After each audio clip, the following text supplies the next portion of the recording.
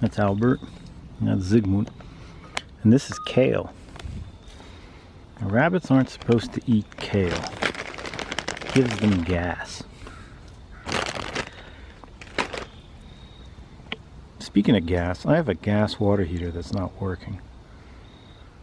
And not only that, I got a no heat call on a gas furnace.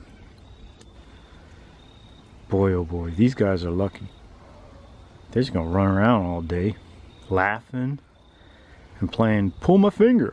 This is the kind of luck I have. See this tire here? You see this one? Holding there.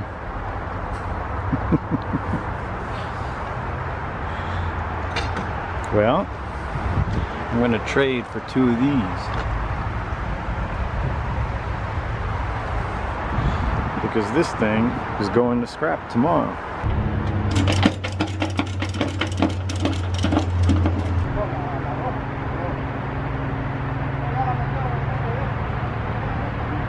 So this is the kind of luck I have. This water heater failed me. No big deal.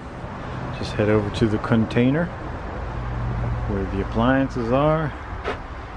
Grab yourself a refrigerator, little dorm freezer, a propane water heater, or maybe a, this one. This one looks perfect. This is how my system works when a water heater goes out because they're heavy and you got to go to the store and it may have gone out in the middle of the night. I keep spares around that have been used and I know they're good and I already keep them next to where they're going to go. So then it's just a matter of sliding one over to get hot water back again and then when you have more time you can plan on a different replacement. Ah. And then these things keep popping up everywhere. So what do you say we just take all of them?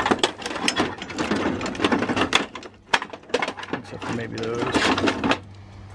These are those like quick connecting SharkBite. Something will work. Look at this. Here's a complete set. Alright, let's go. But I keep a spare over there and then I brought this spare over here. I knew about that one, but it was easier for me to just grab this one on the way. Besides, and you're saying, well, why is that lucky? Well, the story of this water heater was back in 1998.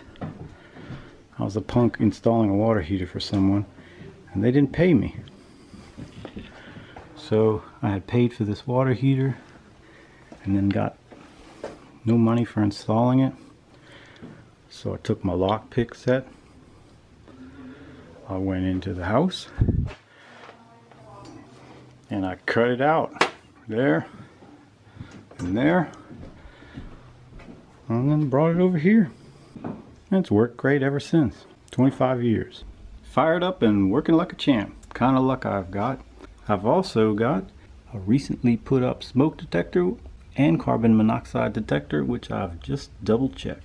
This is the kind of luck I have. I want to give away this table saw to the ReStore Habitat for Humanity. But it didn't come with a motor. I've got all the little parts and I packaged them all up nice, but no motor. So I asked the guys there, I said, hey, you want this saw? It doesn't have a motor. And they said, sure. Then, a few days later, I'm visiting the dumpster that gives and gives and gives, and look what I saw. It's a motor. It's a Craftsman motor. And if we look at the instruction manual, it may be the exact one that's needed for this saw. That's the kind of luck I have.